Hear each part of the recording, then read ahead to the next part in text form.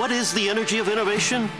It's a new way of looking at our world, of asking questions, seeking answers, and finding solutions. Like a contact lens for diabetics that changes colors with blood sugar levels, or a revolutionary nanofiber bandage that helps wounds heal faster. At the University of Akron, our students and faculty are improving lives here at home and around the world. Experience the energy. Join us at the University of Akron.